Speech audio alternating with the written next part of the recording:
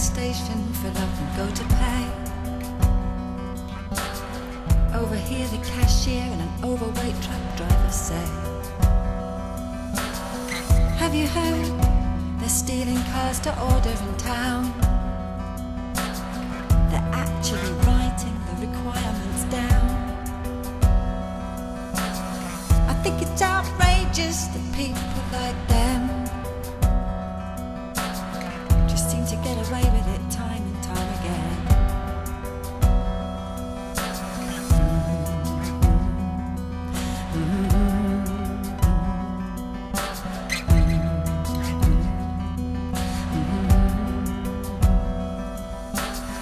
Huh, That's nothing, they tell.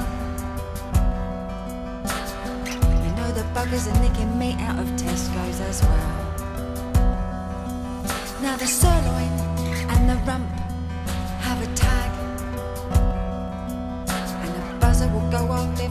little sods try and make away with that.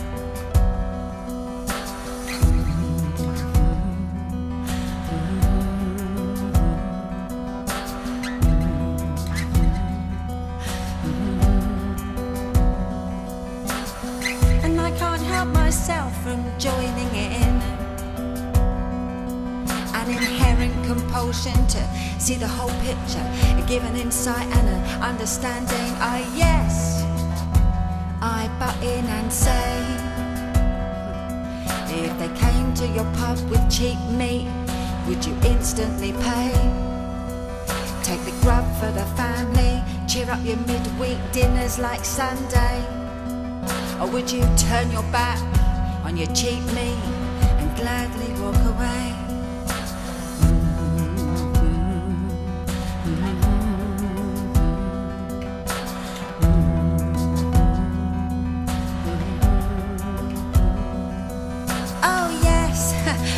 different, says Truckman. No one resists a bargain.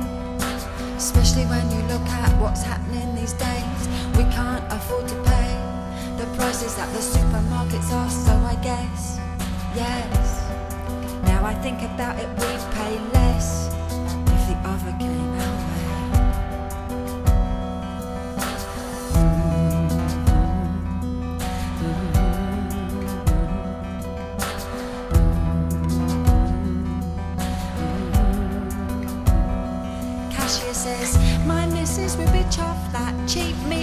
stuffed before you could count to ten.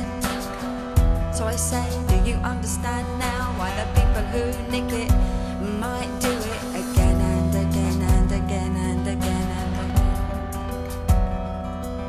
And Truckman says, Now that I think of it, with the cuts that they're making,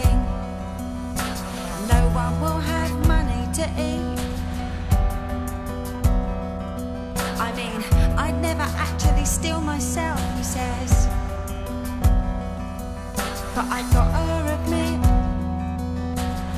I'd pay out for cheap meat.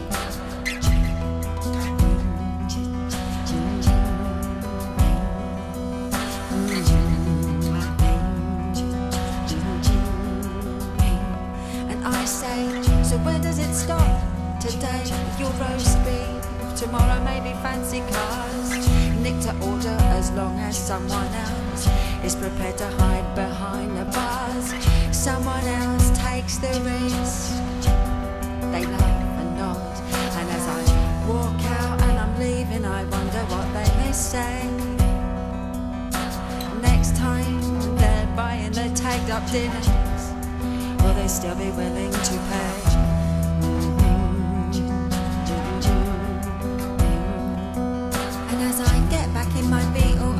exactly who's to blame.